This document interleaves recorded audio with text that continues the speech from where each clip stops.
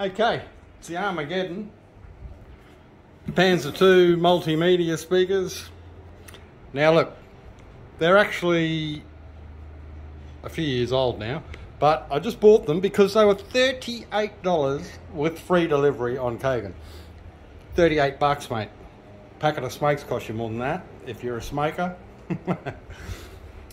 but very powerful. I can feel the wind coming out of that sub from a meter away on my hand. It's amazing, actually. It's 48 watts combined.